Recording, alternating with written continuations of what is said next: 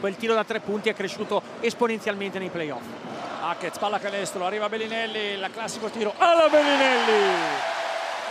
Grande inizio, parte Schengelia, la palla passa da Paiola che si appoggia subito a Giorgiano, arriva Bellinelli, tiro alla Bellinelli, quando eseguono questo movimento difficilmente Bellinelli sbaglia.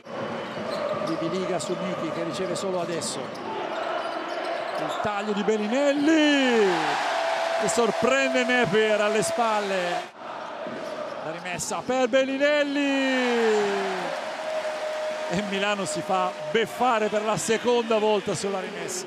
Adesso va a forzare Nepier, tiro in reversa, il rimbalzo è sempre di Bologna. Bellinelli esce per il tiro da tre.